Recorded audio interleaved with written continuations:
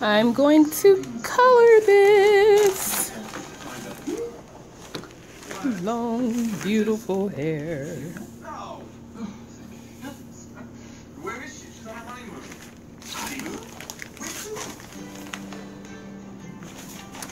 So for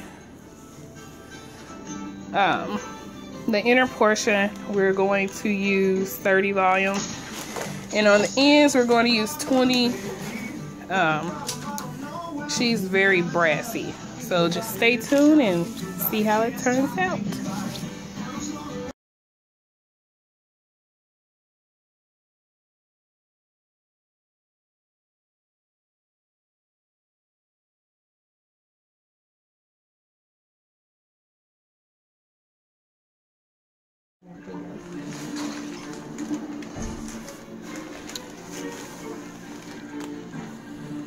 Okay, this is her hair after the lightener.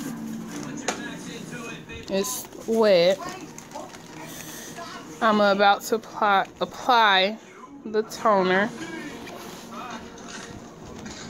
Still in good condition. No breakage. Stay tuned.